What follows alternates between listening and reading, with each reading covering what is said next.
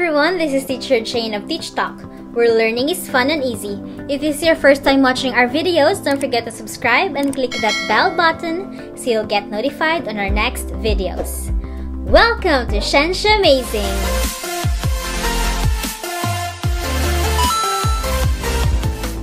Kung saan pag-uusapan natin ang mga science concepts from grade 7 to grade 12, kasama ang topics in general science, biology, chemistry, physics, and earth science.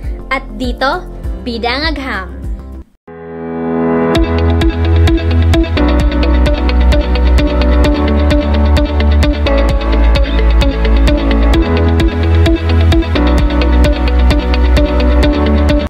Motion is seen in many things around us. It is part of our everyday experiences. We experience motion in walking, running, jumping, and swimming. But in our study of motion, you might have asked yourself, is motion and moving the same? No. Motion is relative. Bakit sinasabing relative ang motion? Because it relates to something else.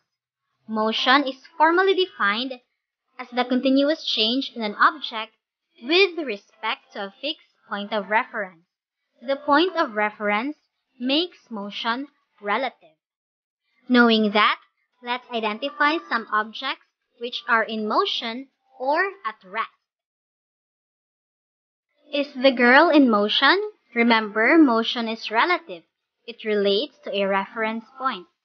Saan dito ang ating reference point? It's this one, the starting line. When she starts to run, she goes this way. Because of this, the girl is said to be in motion. Next, is the bike in motion? Nasaan ang reference point? It's here. And when it goes that way, a change in direction is observed and therefore there is motion. Next, is the ball in motion? Nasaan ang reference point? It nasa kamay ng mother.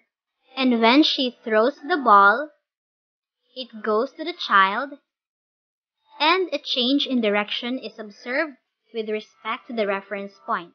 Therefore, the ball is in motion. How about this one? Is the car in motion? Nasaan ang reference point? It's here. When the car starts to move, from that point, the car changes direction. It goes here, therefore making it in motion. In the same situation of a moving car, let's find out if the driver is in motion or at rest. This is the driver. To determine if it is in motion, we need a reference point. This is the reference point.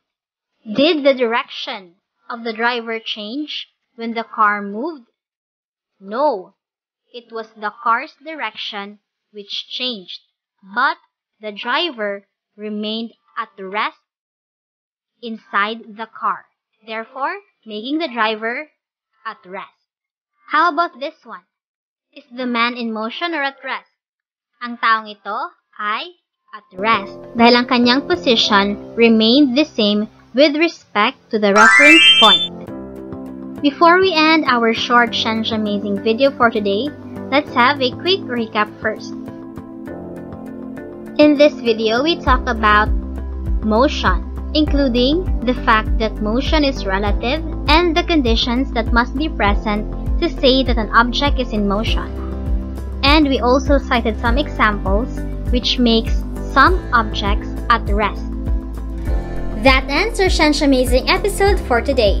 Don't forget to subscribe, like, and share this video to your friends so that we can learn together. Bye!